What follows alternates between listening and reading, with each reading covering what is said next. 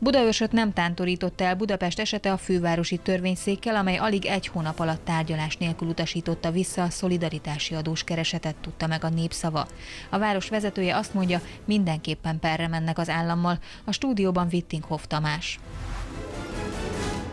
Paksamét a papírral, Budaörs polgármestere, jó estét kívánok! Jó estét kívánok, köszönöm. A budapesti példa, hogy ugye Budapest milyen könnyedén koppant ebben a történetben a törvényszéknél. Azért ez még ne tegy kicsit. Jó, el, első körben mindenképp. Igen. Mert ugye gyakorlatilag egy hónap alatt elvérzett a beadványuk. Az milyen tanulsággal szolgál az önök számára? Hát nekünk két előzményünk is van, ez az egyik, de a másik az, hogy mi 2017-ben, amikor ezt bevezették, mi polgári peres eljárást indítottunk, ahol is első körben megnyertük a pert. Második körben pedig azt mondta a törvényszék, hogy olyan kérdésben, hogy egy alacsonyabb rendű, azaz feles törvényel létrehozott joghelyzet, mert egyébként nem tudom, minek nevezzük ezt, mert sokan szolidaritási adónak nevezik, miközben ilyen adó nem nincsen, és ez egy hoz, szolidaritási hozzájárulás, amit egy éjszaka alkottak meg a költségvetés 2017-es költségvetési törvény kapcsán. Szóval azt mondta akkor a másodfok, hogy ő ezzel nem foglalkozhat, mert azt csak az alkotmánybíróság mondhatja meg, hogy egy feles jogszabály ütközik-e az alaptörvényel, mert egyébként ütközik, és az önkormányzati törvénye mellesleg az önkormányzatok európai kártájával is, ami alapján született meg a magyar önkormányzati törvény. És az Alkotmánybíróság pedig azt mondta, hogy nem foglalkozik ezzel az ügyjel, azért, mert hogy ameddig a államháztartás hiánya meghaladja a GDP 50%-át, ő költségvetést érintő ügyen nem foglalkozik. Most egy jogállamban lehet-e szerkesztő úr szerint olyan, hogy egy természetes vagy egy jogi személy ügyében nem születik tisztességes eljárásban? Nem, mert olyan nem fordulhat el. Nem, Ugye? Nem. Na, és hát ugye a, a főváros esetére ugye ez a második, hát hogy is mondjam, előzménye a történetnek, azért ott a bíró nagyon sajátságos döntést hozott. Tehát ha már a jogállamiság szó előkerült, akkor szerintem egyszer, ha Magyarország újra jogállam lesz, tanítani fogják ezeket, mint elrettentő példákat. Tudnék a bíró hát vagy nem akart megküzdeni ezzel a feladattal, vagy esetleg valamilyen feladatot teljesített, ami valami más helyről jövő utasítás lett volna, de hát ilyet ne feltételezzünk. Szóval nagyon furcsa az az indokolás. Mind a kettőt láttam, a beadványt is, az elutasítást is, azért itt ennek még lesz folytatása. Jó, de a, a, ha nézzük ezt a fővárosi ítéletet, azért kérdeztem, hogy ez milyen tanulsággal szolgál Budaörs szempontjából, mert eh, ugyanazzal az érveléssel, ugyan precedens jog Magyarországon nincs, de mégis szokták figyelni egymás ítéleteit a bírók, ugyanazzal az érveléssel ki lehet végezni az önök beadványát is. Egyébként ilyen szempontból egy kicsit jó is, hogy nem együtt léptünk, mert egyébként korábban volt ilyen megfontolás. Ugye Budaörs volt az első, aki nagyon, hát hogy is mondjam, rosszul járt ezzel a törvényel, aztán amikor Tarlós után az 5 milliárdról 57 milliárdra emelkedett a fővárosnak a, a befizetendő összege, ami teljesen nonsens, és ez fontos, hogy értsék a, a, a kedves nézők, hogy miről van szó. Tehát nem állítom azt, hogy egy jobb helyzetben lévő településnek nem kevesebb állami támogatás jár, de azt viszont állítom, hogy a jogszabályokat, a törvényeket az államnak is meg kell tartania, tiszteletben kell tartania. Márpedig itt az történik, hogy az állami feladatok ellátásához járó központi költségvetésből fizetett összegek, amit az önkormányzatoknak meg kell kapniuk, annál jóval többet vonnak el, vagyis olyan összeget vonnak el, amit a törvény szerint nem lehetne elvonni. Itt a Budaöstől összességében, nem akarok rossz számot mondani, 23,1 milliárdot vontak el az elmúlt 7 7 év alatt, vagy 8 év alatt, ebből körül, körülbelül a fele törvénytelen. Tehát egy 10 milliárd forint nagyságrendű, hát abból azért elég szép fejlesztéseket lehet egy Mert hogy, hogy, hogy ez teljesen világos legyen, ugye úgy van, hogy költségvetési támogatást kapnak a települések azokért a feladatokért, amelyeket az állam helyett elvégeznek. Hát, amit az állam az önkormányzatokra rájuk, testál. rájuk hárított. Igen. igen.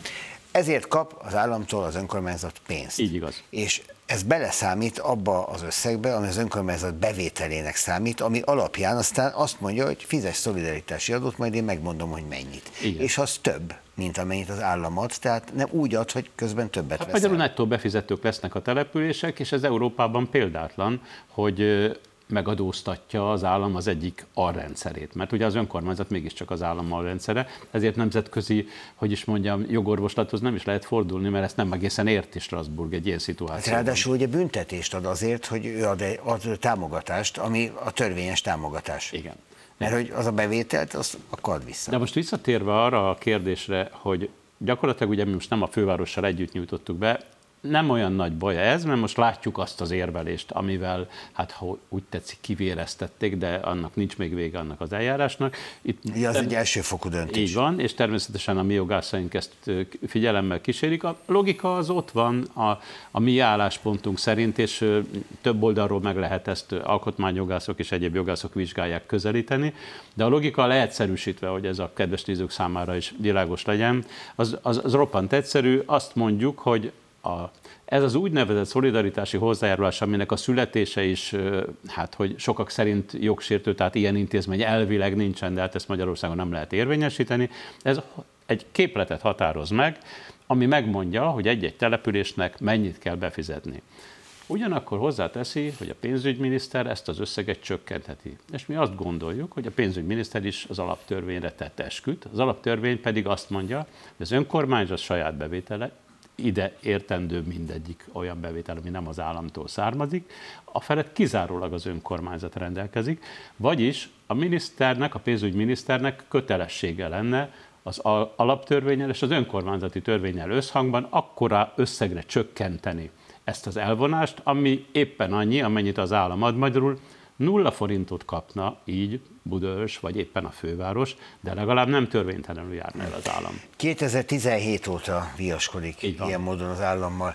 Eh, Strasbourgig ez az ügy ez miért nem jutott el még? És nem. eljuthat-e, és lenne értelme? Itt a lényeg, hogy nem tud eljutni Strasbourgig. Azért hoztam ilyen paksamétát, hogy, hogy ebbe, le, ebbe le van írva, hány lépést tettünk. Ugye elindítottuk a polgári pert 2017-ben, ezt elutasították. Aztán az Alkotmánybíróság vizsgálta, erre már utaltam, nem foglalkozott vele, az elmondottak alapján ombudsmanhoz terjesztettük, az ombudsman nem kívánt vele foglalkozni, és ezt követően és ez egy európai, tehát ugye az Európa Tanács mellett működik egy olyan, hogy helyi regionális önkormányzatok kongresszusa, ez vizsgálja évente ország jelentésében azt, hogy az önkormányzatok európai kartájában rögzített feltételeket teljesítik-e a tagállamok.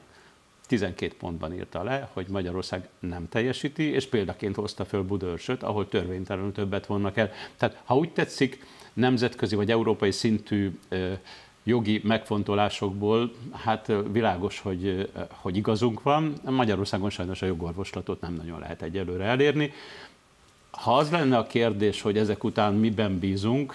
Ez lett volna a következő, illetve még, láttam, még lett, láttam a szemét. Lett volna még egy zárójeles kérdésem, Igen. hogyha most ismét bíróságra Igen. kerül az ügy, ismét Igen. rosszul járnak, akkor ugye az Európai Bírósághoz akkor lehet fordulni, hogyha valamennyi jogorvoslati lehetőséget az adott tagállamban, az adott ügyben, az abban eljáró kimerített. De, itt, De önök ezt már akkor elmondhatnák magukról. Miért nem lehet? Azért nem lehet, mert ez a bíróság az állammal az, az állampolgárok, tehát a jogi és a természetes személyek az állammal szembeni jogsértéseit vihetik a bíróságra, az önkormányzatok pedig az állam alrendszerei, magyarul nem tudja értelmezni egy Európai Bíróság ezt a problémát, hmm. hogy egy önkormányzat van, jog, tehát egyébként tényleg ez egy unikum, tehát ami Magyarországon történik, de nem csak ez, e tekintetben unikum.